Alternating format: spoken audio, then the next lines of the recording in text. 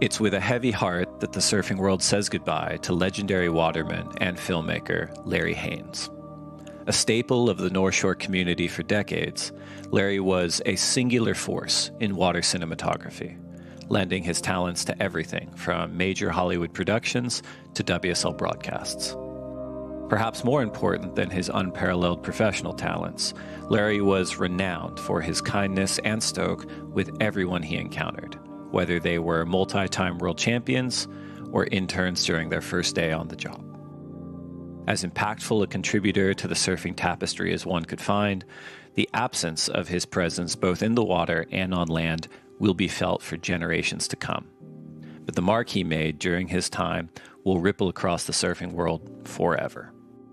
Thank you for everything you did, Larry, and thank you for who you were.